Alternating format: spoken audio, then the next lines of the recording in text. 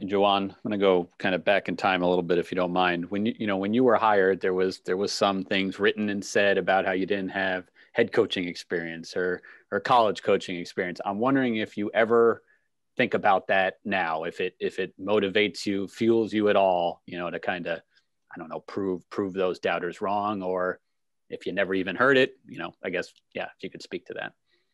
Hmm, you cute, Andrew. Um, of course, I've heard it and uh, you know you, you're trying to get me you know to make this a, a you know i'm not saying you're trying to get me but um, you know i'm not here to make this a big issue. Um, i just want to tell you this that you know i've always been very extremely competitive since i started you know uh, playing sports whether it was basketball baseball um, i didn't play competitive football but in our neighborhoods, we played against each neighborhood in a park in football, and it was tackle football where with no equipment.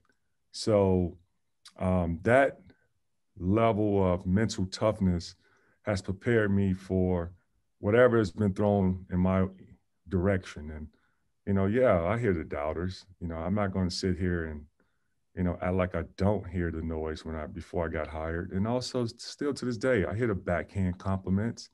Um, and am I, am I competitive? Of course I am. Um, but I'm also about get, improving and having a mind, the growth mindset on how I can get better to be the best version of myself to help prepare this team and more importantly to represent this fine institution uh, the best way possible and that's what that's my number one goal that's what thrives me that's what really you know excites me. And then also, yeah, like, you know, I wake up in the middle of the night thinking about plays, thinking about defensive situations, thinking about how I can get better, how I can help prepare the team because my I, am a perfectionist, and uh, I have that. You know, if you see my desk now, you know I'm I'm a very organized person, but I, I you know, my wife say, you know, I have this type A personality, uh, and that's how I'm wired. And I, I, wouldn't have been able to last 19 years in the NBA if I didn't have a certain edge about me. Um, and to get back into coaching, you know, like for six years, you know, as assistant coach, you know, the, the Miami Heat staff, and also I took it upon myself to prepare myself to become a head coach someday. And so I worked at this, and I'm gonna continue to keep working.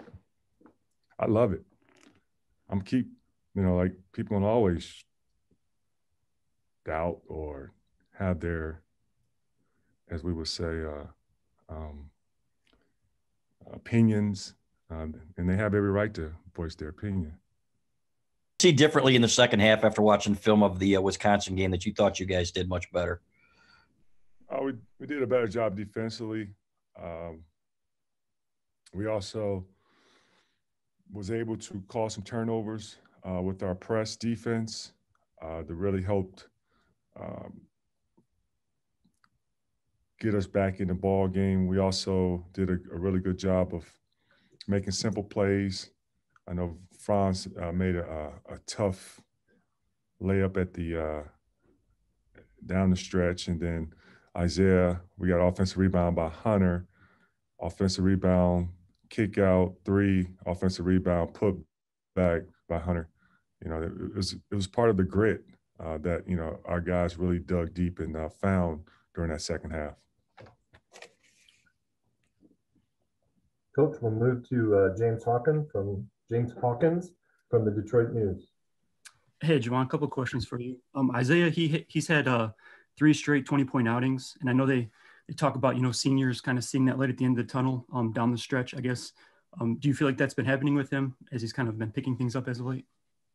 Uh, he's been you know been special for us uh, throughout the season, and um, you know he's made some really good shots, uh, very tough ones too uh, in the first half of the Wisconsin game.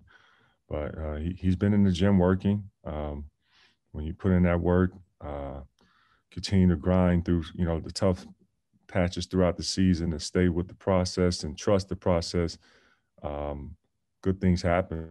And, and that's what's been happening for him. Uh, he's in a great place.